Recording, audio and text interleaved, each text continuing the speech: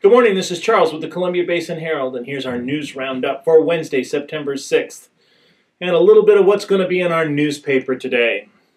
A Quincy man will be spending six months in jail for strangling his girlfriend during an attack in July.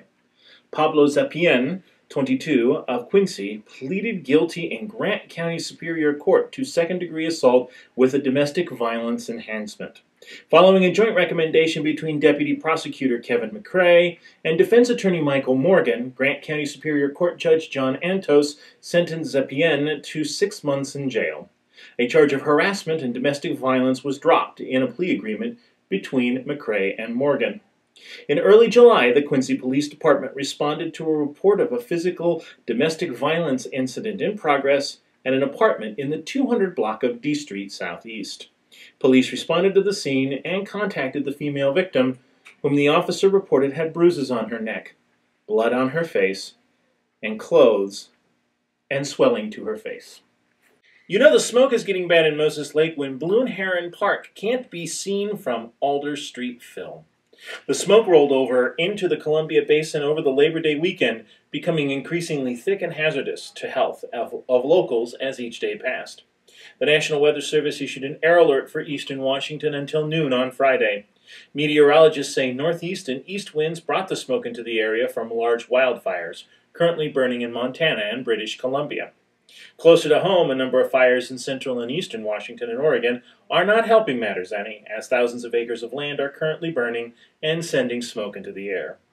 The easterly flow of smoke is expected to continue all the way up to Thursday, but become increasingly lighter each day. The pattern is projected to continue until a cold front rolls in late Thursday, which will be followed by a southwesterly wind Friday morning. And speaking of smoke, when the smoke from a half a dozen fires is hanging heavy over the Columbia Basin, the Grant County Commission on Tuesday unanimously approved an annual countywide summer burn ban. The ban, which goes into effect immediately, will restrict burning in Grant County from June 1st through September 30th and automatically come into effect every year. Currently, county commissioners impose a burn ban as needed. The current countywide burn ban was enacted on June 28th. In the 21 years he has been in Grant County, Fire Marshal Dave Nelson told commissioners that there have been burn bans in 20 of them. Because of that, Nelson said it seems prudent to have an automatic burn ban. The new measure primarily limits the burning of yard waste and scrubland, Nelson said. Agricultural burning, particularly fields and orchards, is covered by state law and is not subject to county restrictions. And finally, a one year class to help train people to work in the data center sector of the computer industry will be offered beginning this fall at Big Bend Community College. Big Bend officials worked with managers at data centers located in Grant County to design the curriculum. Students can enroll and earn the Network Support Specialist Certificate of Accomplishment or the Systems Administration Certificate of Achievement at Big Bend, wrote BBC uh, Big Bend Community College Director of Communications Matt Kilbrew.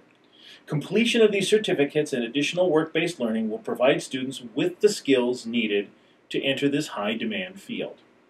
College officials worked with employees from Intuit, Microsoft Oath, NTT Data, Sabey Data Centers, and Vantage Data Centers, all located in the Quincy area.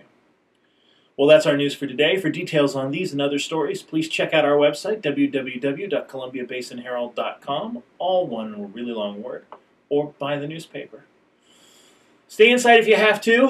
Um, it'll eventually get better. Don't know when, but it will eventually get better. Have a good day. We'll see you tomorrow.